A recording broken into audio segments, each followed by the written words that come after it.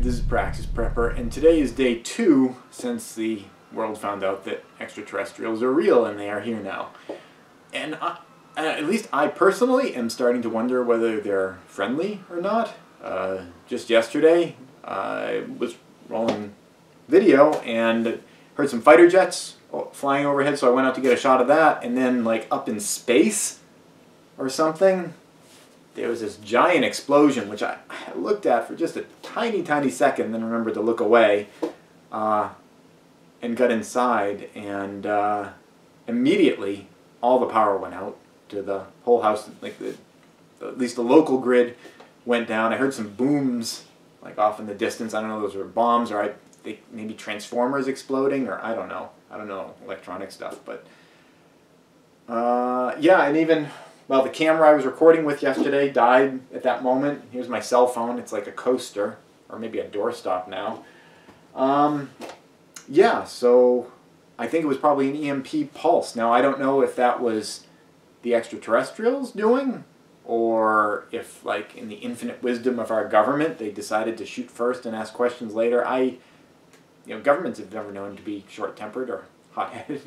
I don't know. I'm not sure exactly what's going on because I have no way of getting news or information, but it seemed like an EMP and all the power is out. So that's why I have a Faraday cage next to me, um, or a Faraday trash can.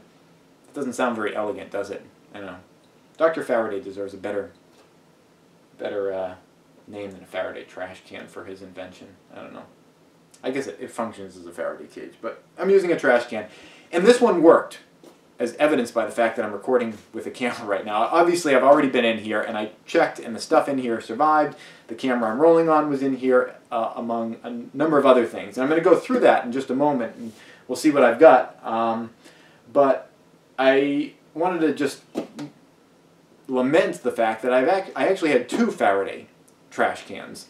And this one I had sealed up with this metallic tape all around the edges. I had seen some videos suggesting that uh, to really survive an EMP, you really have to seal up the sides of your Faraday trash can with tape. So th this one was done that way. I don't mean like just duct tape. This is metallic aluminum tape. So I did that on this one. Everything in here survived. The other one, I did not seal it up with tape. And the reason for that was it was I had things in there that I use more frequently, like hard drives that I would use to back up my computer and stuff. And I didn't want to be constantly, you know, tearing open the tape and having to retape it and everything like that. So I got lazy on that one. Kind of crossed my fingers, and it seems like everything in there is fried. Uh, you know, obviously I can't check the, uh, I can't check the uh, hard drives because I don't have a computer that functions. But well, here here was a flashlight that was in there. So you know, it's about as useful as my cell phone at the moment. Uh, but everything in here did survive because I had that foil tape around the side. So while this is not the first time I've opened this up, you know, I can tell you how giddy I was earlier today when I popped this open the first time. It was like Christmas morning. It's like, oh, what's inside? What survived? It was very exciting. Uh, but I'm still excited because I've got some of this stuff. So let's go through some of it. Uh, I've got a lantern. Uh, yay, which works. And this also functions as a USB power supply for charging USB devices. I have one small solar panel that I had in here. I didn't put more solar panels uh, for a couple of reasons. One is because I wanted to have them accessible because I use them all the time. And the other reason was because my understanding is that an EMP isn't necessarily going to fry all solar panels or completely destroy even the ones that it does fry.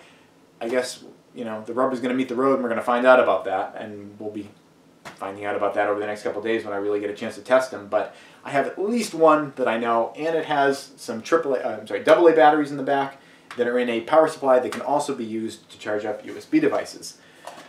I'm excited about this one.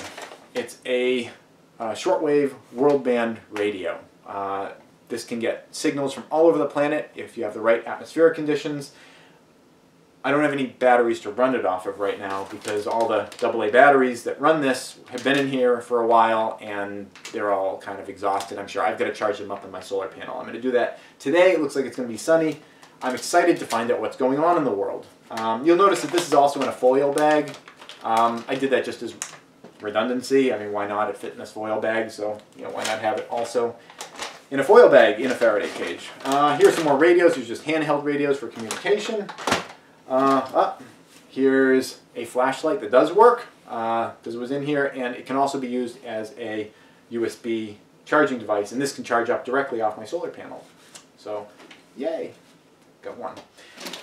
Got two of these, two extra backup backup cameras so I can keep recording videos and things with their batteries and power supplies in there. And uh, a little shelf. I put, you're supposed to line the whole thing in, in cardboard so stuff isn't in contact with the outside. Uh, and I use some of the extra cardboard to make shelves to kind of tier stuff.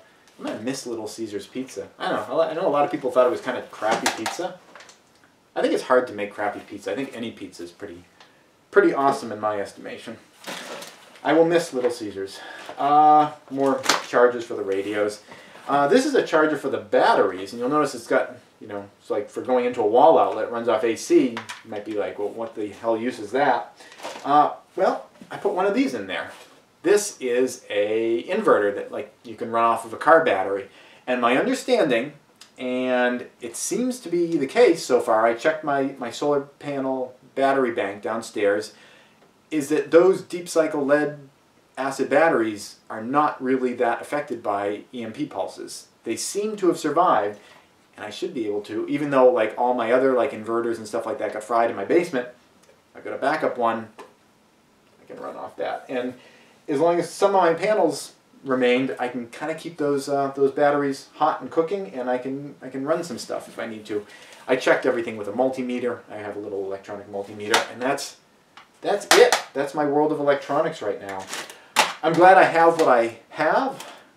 I wish I'd put more in there, but you know, whoever who thought who thought it would actually actually happen. So I guess what I my my next plan is that I need to charge up all these batteries and. Okay, yeah, that's somebody knocking at the door. That's why we have this. Uh, I mean, it's probably just someone from the neighborhood, but let's check it out. Why am I bringing the camera with me? It's like a horror movie. People making bad decisions. Hello? Hello? Well, that's a good sign. Hello?